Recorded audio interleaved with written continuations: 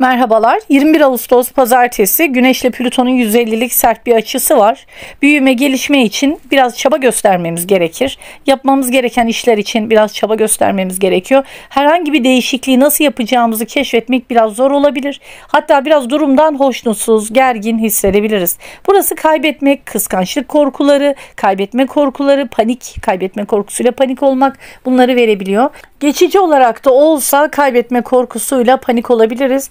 Burası psikolojik gelişmemiz için hani daha böyle bir gelişimimizi ilerletmek için bir şeylerin biraz böyle sabırla baş edilmesini belki çarşamba gününü beklemeyi gerektirebilir. Çünkü ay terazi burcunda ama artık ileri derecelerini ve de denge, barış arzusu çok kuvvetli ve akrep burcuna girdikten sonra bizim sezgilerimizle ruhani anlamda biraz böyle sezgilerimizin kuvvetiyle aslında baş edebileceğimiz güne doğru, salı gününe doğru ilerliyoruz ve sonraki gün aslında güneşle 60'lık açıdaki ayın bize bir faydası illaki bu anlamda olacak ruhani anlamda rahatlamış olacağız.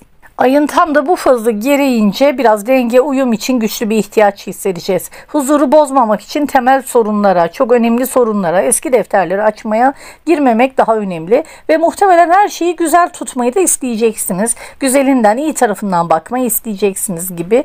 Ve iyi veya kötü duygularınızı paylaşmayı öğrenseniz iyi olabilir. Hani burada fikrim budur diyeceğiniz konular primer konular olmaması lazım.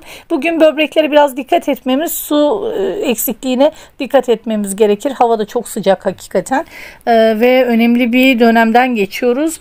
Bu Plüton'un kuzey-güney tek karesi artık son günlerine kadar geldi ee, ve bu açıdan yavaş yavaş kurtulacağız. Bugün aynı zamanda maddi değerlerle ilgili hiç beklenmedik noktalardan güzel fırsatlar yakalanabilir. Maddi anlamda gökyüzü yeni çıkış yolları, yeni fırsatlar, yeni kimselerle e, bu para işini konuşmak ve farklı insanlarla farklı tarzda parayla ilgili, para çerçevesinde çerçevesinde bir takım pazarlıklarla ilgili güzel fırsatlara işaret ediyor. O sebeple maddi değerlerimizle ilgili bir rahatlama bugünden itibaren birkaç gün yaşayabiliriz.